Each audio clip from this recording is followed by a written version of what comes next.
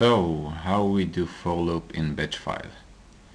Very, very old-fashioned programming, but still many, many of programmers need for loops and use also batch files. So, the syntax is for slash l. Here is the first integer that goes here. That means we are starting from 1. The second parameter is the jumping. We start by 1 and adding 1 each iteration. And the last parameter is the maximum value that we can reach. Here is 10.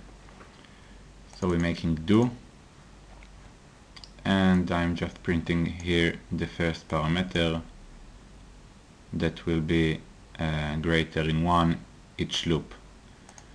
So let's remember a very very important thing. This syntax need to be exactly exactly one by one. The bracket need to be after the do. If we if you do it like this, it will not work. So uh, let's run this program and see what we get we get a loop as expected